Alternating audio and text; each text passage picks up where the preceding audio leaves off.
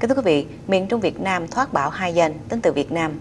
Chiều hôm qua giờ Việt Nam, Trung tâm Dự báo Khí tượng Thủy văn Trung ương nói tâm bão sẽ ở vùng ở bờ biển các tỉnh ven biển phía đông bắc bộ vào lúc 1 giờ sáng thứ hai ngày 11 tháng 11.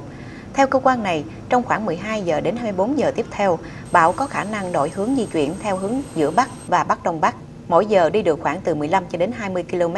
đi vào đất liền các tỉnh phía Đông Bắc Bộ và suy yếu dần thành áp thấp nhiệt đới.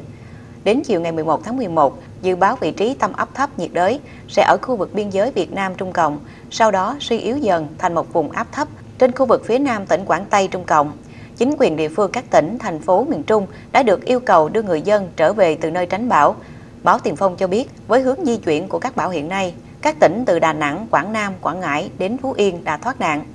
Hiện không có tin tức gì về thiệt hại đáng kể tại miền Trung, Tuy nhiên, đã có một số trường hợp tử vong xảy ra ở Quảng Ngãi, mặc dù không phải do ảnh hưởng trực tiếp của bão. Ban phòng chống bão lụt và tìm kiếm cứu nạn tỉnh Quảng Ngãi được các báo trong nước dẫn tin nói rằng một nữ phóng viên đài phát thanh huyện Đức Phổ đã thiệt mạng vì tai nạn giao thông trên đường đi đưa tin về cơn bão. Một người khác ở huyện Mộ Đức cũng bị xác nhận là đã tử vong vì rơi từ trên cao xuống khi đang gia cố nóc nhà.